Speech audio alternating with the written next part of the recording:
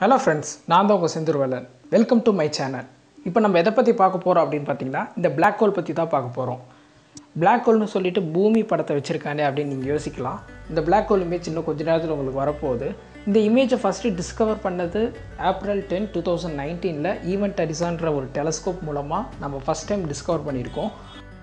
Okay இப்போ நம்ம discover பண்ண இந்த பிளாக் ஹோலோட இமேஜ் எந்த கேலக்ஸி இது அப்படின்னு பார்த்தீங்கன்னா எம் எயிட்டி செவன் அப்படின்ற ஒரு கேலக்ஸி இது நம்ம இந்த பிளாக் ஹோல் வந்து பார்த்தீங்கன்னா இங்கேருந்து பார்க்கும்போது fifty four million light years டிஸ்டன்ஸில் இருக்குது ஸோ அந்த கேலக்ஸியோட பிளாக் ஹோலை நம்மளால் டிஸ்கவர் பண்ண முடிஞ்ச நம்மளால் ஏன் நம்ம கேலக்ஸிலேயே கண்டிப்பாக அப்போ நம்ம கேலக்ஸியில் ஒரு பிளாக் ஹோல் இருக்கும்?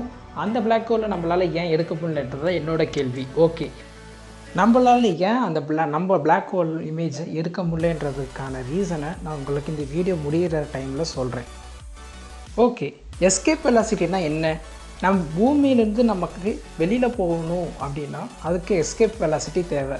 இப்போ இந்த இமேஜை பார்த்தீங்கன்னா உங்களுக்கு தெரியும்.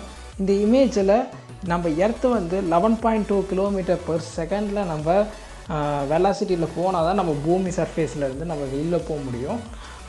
இது ஜூபிட்டருக்குன்னு பார்த்தீங்கன்னா சிக்ஸ்டி ஃபோர் அப்போ நீங்கள் கொஞ்சம் யோசிச்சு பாருங்கள் நம்ம சன்னுக்கு எவ்வளோ இருக்கும் இந்த எஸ்கேப் வெலாசிட்டி அப்படின்னு பார்த்தீங்கன்னா six hundred and forty kilometre per second இதுலேருந்து நான் என்ன சொல்ல வரேன் அப்படின்னு பார்த்தீங்கன்னா நம்ம பூமி ஜூபிட்டர் மற்ற எல்லா பிளானட்ஸை கம்பேர் பண்ணும்போதும் நம்ம சன்னுக்கு தான் அதிக கிராவிட்டி இருக்குன்றத இதுலேருந்து சொல்ல போகிறேன் இப்போ நம்ம சன்னில் என்ன ப்ராசஸ் நடந்துட்டுருக்கு அப்படின்னு பார்த்தீங்கன்னா நியூக்ளியர் ஃபியூஷன் நடந்துட்டுருக்கு. அது எது மூலமாக நடந்துகிட்ருக்கு அப்படின்னு பார்த்தீங்கன்னா நம்ம இருக்கிற ஹைட்ரஜன் ஆட்டம் தான் அங்கே இருக்குது ஸோ அந்த நியூக்ளியர் ஃபியூயலான ஹைட்ரஜன் ஆட்டம் என்ன ப்ராசஸ் பண்ணுதுன்னா நியூக்ளியர் ஃபியூஷன் மூலமாக ஹைட்ரஜன் ரெண்டு ஹைட்ரஜன் ஆட்டம் கம்பைன் பண்ணி ஈலியம் ப்ரொடியூஸ் பண்ணிகிட்டு இருக்கு இப்போ வரையும் அதான் பண்ணிகிட்ருக்கு. ஸோ இதை வந்து ஏன் நம்ம பூமியில் பண்ண முடியாதா அப்படின்னா கண்டிப்பாக பண்ண முடியாது. ஏன்னா அதுக்கு அதிக டெம்பரேச்சரும் ப்ரெஷரும் தேவை.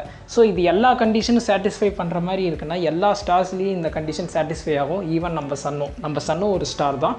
ஸோ இந்த மாதிரி நியூக்ளியர் ப்ராசஸ் நடக்கும் போது நமக்கு ஹைட்ரஜன்லாம் சேர்ந்து நமக்கு என்ன ப்ரொடியூஸ் பண்ணும் அப்படின்னு பார்த்தீங்கன்னா ஈலியம் ப்ரொடியூஸ் பண்ணும்.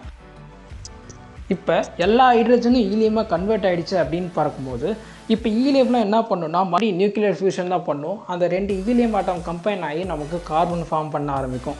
ஸோ இந்த மாதிரி கார்பன் ஃபார்ம் பண்ணும்போது நம்ம சூரியன் வந்து என்ன பண்ணும் அப்படின்னு பார்த்தீங்கன்னா நம்மளால் இப்போ இருக்கிற ஈலியமும் எல்லாமே கார்பனாக மாறிடுச்சு அப்படின்னா அந்த ரெண்டு கார்பனும் சேர்ந்து கம்பைன் ஆகி நமக்கு ஃபார்ம் பண்ணுற அளவுக்கு சன்னோட ப்ரெஷர் வந்து தாங்காது.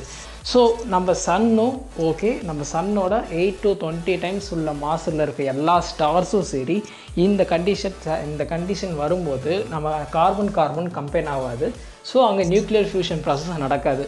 ஸோ அப்படி அந்த மாதிரி கண்டிஷன் வந்துச்சுன்னா அங்கே பிளானிட்டரி நெபுலா அப்படின்ற ஒரு கண்டிஷன் நடக்கும். அப்படின்னா என்னன்னு பார்த்தீங்கன்னா அதோட ப்ரெஷரை தாங்கிக்க முடியாமல் அதெல்லாம் வெடித்து ஒரு சூப்பர் நோவோ பொசிஷன் மாதிரி அது வந்து ரியாக்ட் பண்ணும். அப்படி பண்ணும்போது அது என்னவாக மாறும் அப்படின்னு பார்த்தீங்கன்னா ஒயிட் வார்ஃபாக மாறும்.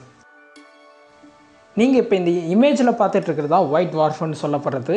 இதோட இது எப்படி மாறும் அப்படின்னு பார்த்தீங்கன்னா இது மாறின அடுத்த செகண்ட் இது வந்து இதோட மாஸ் குறைஞ்சிருக்கும். இதோட மாஸ் குறைஞ்சாலும் அதோட டென்சிட்டியும் சரி கிராவிட்டியும் சரி பல மடங்கு உயர்ந்திருக்கும். அதுதான் உண்மை. இன்கேஸ் நம்ம ஒரு ஸ்டார் எடுத்துக்க போகிறோம் அது நம்ம சன்னை விட எயிட் டு டுவெண்ட்டி டைம்ஸ் அதிகமாக உள்ள ஒரு மாதம் உள்ள ஒரு ஸ்டார் எடுத்துக்க போகிறோம் ஸோ அந்த ஸ்டாரில் இந்த ப்ரெஷரை வித்ஸ்டாண்ட் பண்ணுவோம். அதாவது எந்த ப்ரெஷர்னால் கார்பன் கார்பன் கம்பைன் ஆக வாய்ப்பு இருக்கும். ஸோ அந்த மாதிரி பண்ணி அது சைக்கிளிக் ரியாக்ஷனாக நமக்கு நியான் ப்ரொடியூஸ் பண்ணும். அந்த நியான்லேருந்து நமக்கு என்ன ப்ரொடியூஸ் பண்ணோம் அப்படின்னு பார்த்தீங்கன்னா oxygen oxygen to silicon and then ஃபைனலாக அயான் சரி ஒரு ஸ்டாரோட ஃபைனல் ஸ்டேஜ் எது தீர்மானிக்குது அப்படின்னு பார்த்தீங்கன்னா இந்த அயான் தான். ஏன்னா இந்த அயான் வந்து எந்த ஆட்டமோடைய கம்பைன் ஆகாது. ஸோ அங்கே நியூக்ளியர் ஃபியூஷன் ப்ராசஸ் அங்கே தான் ஸ்டாப் ஆகுது. அதுக்கு மேலே எந்த ஸ்டாராலையுமே நியூக்ளியர் ஃபியூஷன் ப்ராசஸ் அண்டர்கோ பண்ண முடியாது.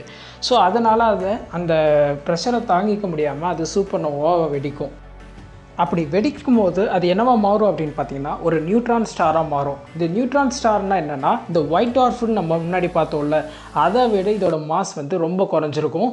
ஈவன் அதோட மாஸ் குறைய குறைய அதோட டென்சிட்டியும் சரி கிராவிட்டியும் சரி ரொம்ப அதிகமாக தான் ஆகும். ஸோ அந்த நியூட்ரான் ஸ்டாரோட ரெண்டு போல்ஸ்லேயுமே அது வந்து அதிகமான எலக்ட்ரோ மேக்னட்டிக் ரேடியேஷனை வந்து அது வந்து எமிட் பண்ணும். ஸோ அப்படி பண்ணுறதுனால நம்ம இங்கே இடத்துல இருந்து நம்ம நார்மலாக ஸ்கையில் பார்க்கும்போது ஒரு ஃப்ராக்ஷன் ஆஃப் செகண்டில் அது வந்து பிளிங்க் ஆகிட்டே இருக்கிறத நல்லாவே நம்ம கவனிக்கலாம். இன்கேஸ் நம்ம சன்னை விட எயிட் டு டுவெண்ட்டி டைம்ஸ் கிரேட்டராக உள்ள ஒரு ஸ்டார் எடுத்துக்கோமே. இப்போ அந்த ஸ்டார் இந்த ப்ரெஷரை வித்ஸ்டாண்ட் பண்ணி நமக்கு என்னவா க்ரியேட் ஆகும் அப்படின்னு பார்த்தீங்கன்னா ஒரு சூப்பர் நோவோவாக வெடிக்கும். ஸோ இந்த மாதிரி சூப்பர் நோவா வெடிக்கும் போது அது என்ன பண்ணுன்னா எக்கச்சக்கமான கேஸஸ் வந்து எமிட் பண்ணும். ஸோ அந்த கேஸஸ் எமிட் ஆகிறது இந்த நீங்கள் இப்போ இமேஜில் பார்க்குறீங்களா அந்த மாதிரி தான் எமிட் ஆகும். இதை நீங்கள் நார்மலாக ஐயான டெலஸ்கோப்லேயோ இல்லை ஒரு நார்மல் ஆப்டிக்கல் டெலஸ்கோப்பால் பார்த்தாலோ இது உங்களுக்கு தெரியாது. ஒரு ரேடியோ டெலஸ்கோப் மூலமாக பார்த்தீங்கன்னா இந்த கேஸஸ் எமிட் ஆகிறத அழகாக நீங்கள் பார்க்கலாம். இந்த சூப்பர் நோவா நடந்த ஃப்ராக்ஷன் ஆஃப் செகண்ட்லேயே அது என்னவோ மாறும்னா பிளாக் ஹோலாக மாறிடும் ஓகே இந்த பிளாக் ஹோலோட ஸ்பெஷாலிட்டி என்னன்னு பார்த்தீங்கன்னா ஒரு நம்ம ஐன்ஸ்டைன் சொல்லியிருக்கிறது என்னன்னு பார்த்தீங்கன்னா அவரோட தியரியில் நம்ம இருக்குல்லையே ஃபாஸ்டஸ்ட் எது அப்படின்னு பார்த்தீங்கன்னா ஸ்பீட் ஆஃப் லைட்டு தான். ஸ்பீடாக லைட்டோட ஸ்பீடை விட வேறு எதுவுமே ஸ்பீடாக இருக்க முடியாது அப்படின்றத சொல்லியிருக்காங்க. ஈவன் நீங்கள் இந்த ஸ்பீட் ஆஃப் லைட்டில் போனால் கூட அவங்களோட பிளாக் ஹோல்லேருந்து நீங்கள் எஸ்கேப் ஆக முடியாது அப்படின்றாங்க. ஏன்னா அந்த அளவுக்கு கிராவிட்டி வந்து அந்த பிளாக் ஹோலில் இருக்குது அப்படின்றத சொல்கிறாங்க இன்னும் சிம்பிளாக சொல்லணும்னா ஒரு லைட்டால் கூட அந்த பிளாக் ஹோல்குள்ளே போனது வந்து வெளியில் வர முடியாது அப்படின்றது தான் சொல்கிறாங்க இப்போ நம்ம பூமிக்கு எப்படி லெவன் கிலோமீட்டர் பர் செகண்டில் நம்ம ட்ராவல் பண்ணோன்னா கண்டிப்பாக பூமியிலேருந்து வெளியில் போயிடலான்னு அதே மாதிரி நீங்கள் ஈவன் பிளாக் இருந்து நீங்கள் வெளியில் போகிறதுக்கு ஸ்பீட் ஆஃப் லைட்டு யூஸ் பண்ணால் கூட உங்களால் எஸ்கேப் ஆக முடியாதுன்றது தான் உண்மை.